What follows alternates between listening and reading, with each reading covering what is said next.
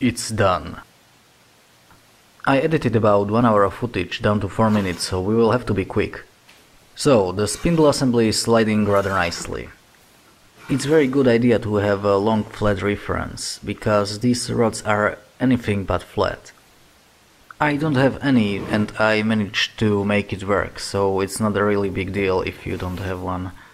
But you cannot be sure that the, the rail is really flat. In the rails I have countersunk holes for Allen key screws.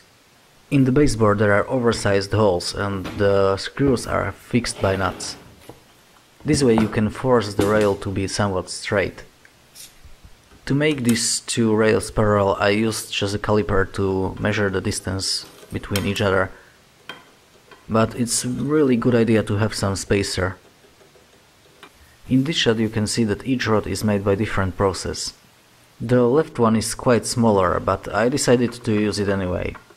For example, this sliding block is really tight on the right rail, but on the left rail it's very very loose. Also you may notice that I am using shims on top of the sliding blocks. Actually, on top of each one sliding block there is a piece of paper. So all four are equally shimmed. And without that it does not work. And I don't really know why. The play you can see here in the top to down direction is about 0.1 mm. I have a timing belt and I am thinking about using that for actuation. So I'm measuring what size of pulley I can get there. After measuring the proper size, I printed out some template for the pulley. There's an online application made by Matthias Wendel. That's a fellow YouTuber here, so you can check him out. Also, I will provide link in description.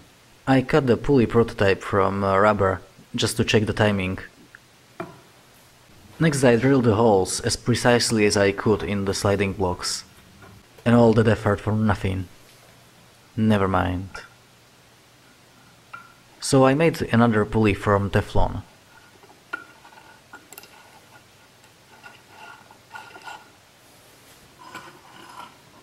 That seems to work really well. It's a little bit noisy, but this is because I'm not using bearings.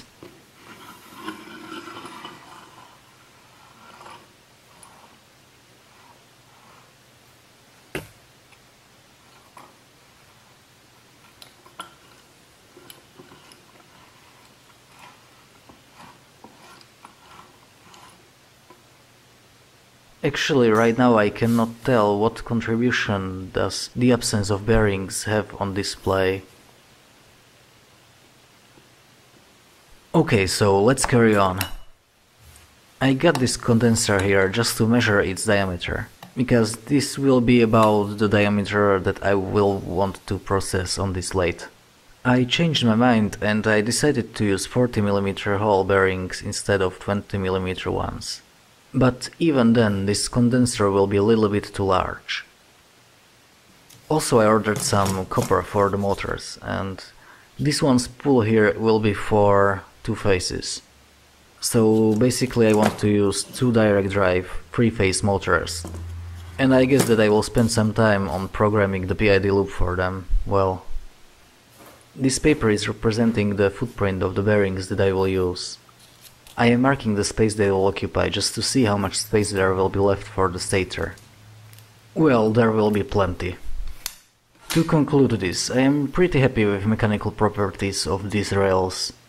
I will have to think a little bit more about actuation mechanism, but other than that, no problems.